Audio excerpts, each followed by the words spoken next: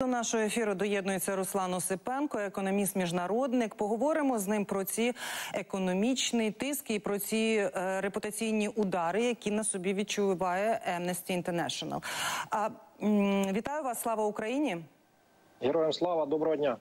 Отже, ви чули, бачили сюжет, який передував от нашій розмові. Так, безперечно. Як ви вважаєте, то збіг е, обставин, чи це вже вони так розплачуються, те, що донори від них йдуть? Ні, це якраз е, натуральний процес, е, такий природній, який відбувається з усіма міжнародними організаціями. Подивіться, що відбувається з ООН, з ОБСЄ, з іншими організаціями.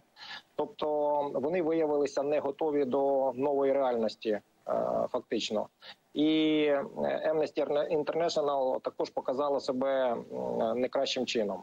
Е, Це ламається вся система, яка була вибудована після Ялтинсько-Потсдамської е, угоди, так званої по- результатах Другої світової війни. Тому е, будуть змінюватися ці організації, буде сутність змінюватися. Ну назви можуть бути різні, але зміниться сутність їх. Тому що е, зараз превалює Росія кинула виклик фактично е, всьому світу, і в тому числі міжнародним організаціям. А вона сказала, що право сила буде домінувати, а не сила права.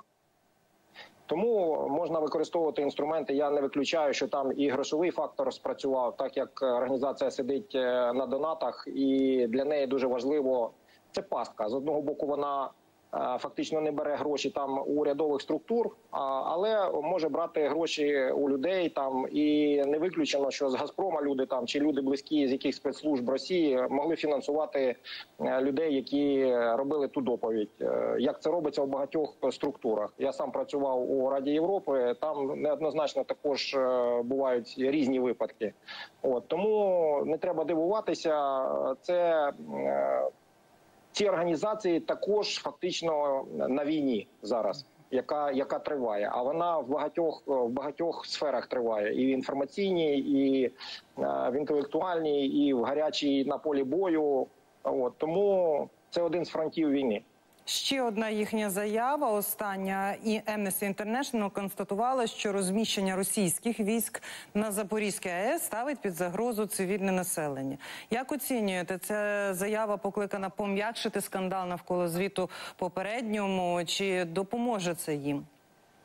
Безперечно, вони е, пробують пристосовуватися. Вони зрозуміли, що вони зробили помилку. Е, це показала їм реакція світова, не, не, не лише в Україні, а світова реакція. І вони намагаються зараз виправити е, становище, тому що.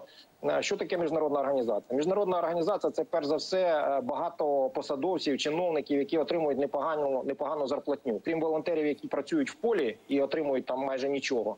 То є ціла купа е, чиновників високого рангу, які знаєте, там ходять на коктейлі на дипломатичній паті, де рі- різноманітні, заробляють непогані кошти. Ну їм же ж якось своє реноме, як вони фактично реноме. Е, Конвертують у гроші реноме організації. Якщо реноме втрачене організації, то і грошей не буде, і організації не буде, і посад не буде з грошима. Місяць тому ви говорили, що на фронті досягнуто критичного балансу у силах, тому Путін використовуватиме додаткові важелі тиску. Запорізька АЕС, ядерний тероризм це оці інструменти, це його останній, якби. Аргумент е, шантажу світу, і чи не є це водночас тестом для світу, цивілізованого світу? Е, Це і те, і те. І тест для, для цивілізованого світу. Це другий тест. Після того як е, Україна е, здала ядерну зброю і фактично поклалася на гарантії, які надавала серед інших і Росія. Це перший був тест, який не, не здало е, міжнародна спільнота. І другий тест от зараз, коли фактично йде війна і. Е, Фактично, ядерний е, ядерний шантаж використовується для досягнення своїх політичних е, цілей. От, тому, тому це другий тест для суспільства. Якщо воно не пройде цей другий тест, а ми бачимо такі різнонаправлені заявки, заявки там і ООН, е, і різних організацій, е, знаєте, які начебто в вузькій сфері, вони не дбають там про цінності, про, про те, що може статися, а вони там. Е, Намагаються діяти в як кажуть в межах компетенції. Да? Допустіть, не робіть е, технічно мають там е, співробітники працювати, а не кажуть, що це буде трагедія для всього людства. Якщо не дай Боже, щось щось трапиться, і, і хто причина цього саме головне не кажуть. Е, Розумієте, всі організації вони ж не кажуть, до цього ж не було проблем з запорізькою станцією. Да, справлялися е, українські фахівці. А як сталася війна, як окупували е, більшу частину Запоріжжя і цю атомну станцію, то якісь почали виникати якісь проблеми. От то треба дивитися на суть. На чому де джерело цих проблем? А- джерело цих проблем Росія, яка використовує навіть такі е, заборонені речі, як, як ядерний шантаж у, у сучасному світі. А от Ну і це має отримати належну оцінку від, е, від світу. Якщо світ е, не дасть належну оцінку, ну тоді треба скасовувати ті всі організації та і все просто. Наскільки, окрім оцінки, важливо, аби міжнародні світові лідери, міжнародна спільнота визначила, що чекає на Путіна, і щоб він це почув, якщо він все ж таки вдасться до ядерного тероризму. Я бачу, що крім Британії, крім Британії, ніхто не, не позначив свою позицію чітко. От британці е, за часів Джонсона вони сказали, що буде, якщо буде застосована ядерна зброя, буде швидка відповідь е, Британії, незалежно де вона там буде застосована Росією.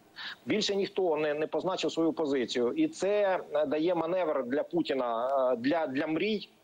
Що в останній в останній момент він може скористатися і, і цим важелем впливу на, на суспільство. Розумієте? Тому мені здається, що дуже важливо, щоб пролунали заяви від Сполучених Штатів Америки, від Німеччини, від Франції, Італії, які більш-менш там е, дослухається все таки Росія до, до їхньої думки, тому що це її партнери е, по бізнесу були. От щоб вони позначили цю позицію, що використання ядерної зброї в сучасних умовах фактично неможливе. І в, От. і в Або тому як- числі підриви на а, АЕС. будь-яке.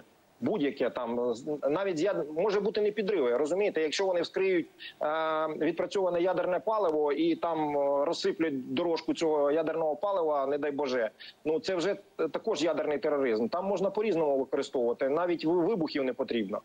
Тому будь-яке застосування виключити е, ядерно, е, ядерної енергетики, відходів від ядерної енергетики, будь-чого, е, оцих ядерних матеріалів.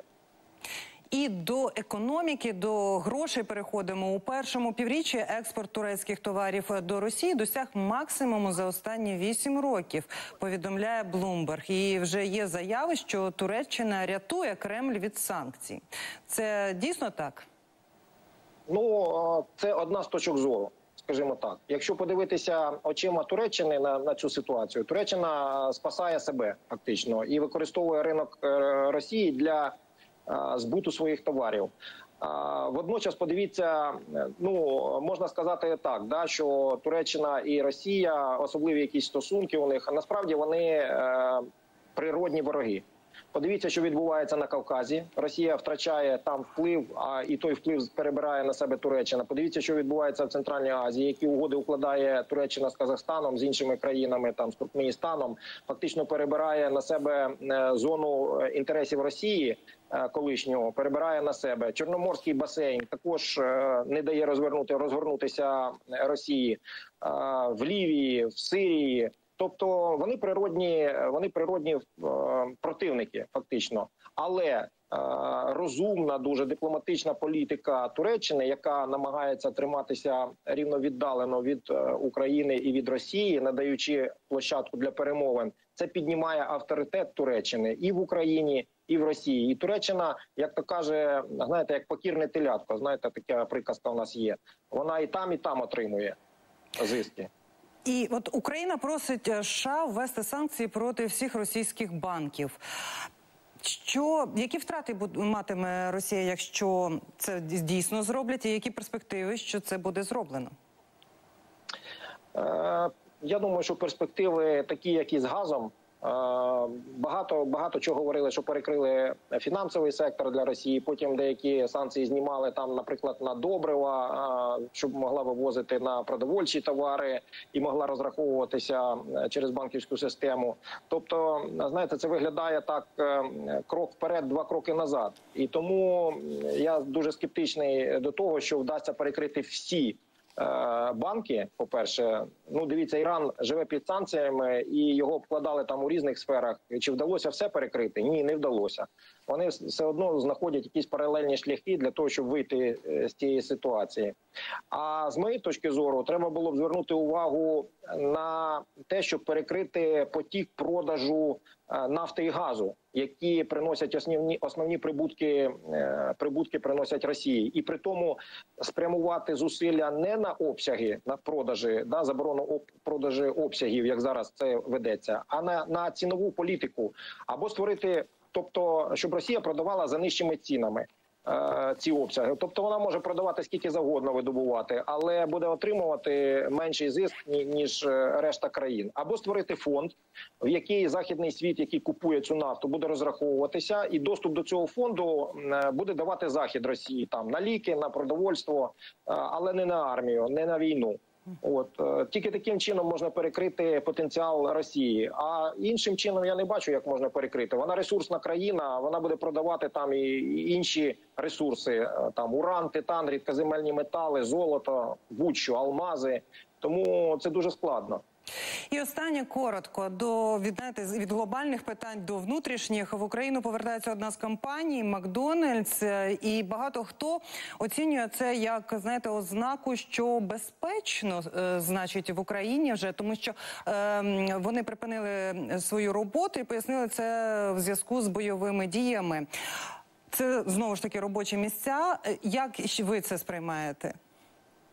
Це політичний сигнал для світу і це економічний сигнал для інвесторів. Ви праві дійсно це сигнал того, що Макдональдс, як транснаціональна корпорація, яка е, авторитетна, вона дає сигнал, що на частині території е, вже безпечно, що не буде повторення е, там якогось е, масштабної масштабної агресії, там і захоплення пів України, там дві третини України. Що на Україну можна, що в Україну можна йти, е, можна вкладати інвестиції і робити бізнес навіть в цих умовах. Це такий сигнал всьому світу. Я дякую за розмову. Сподіваюся, що ми з вами ще поспілкуємося в прямому ефірі. Це був Руслан Осипенко, економіст, міжнародник.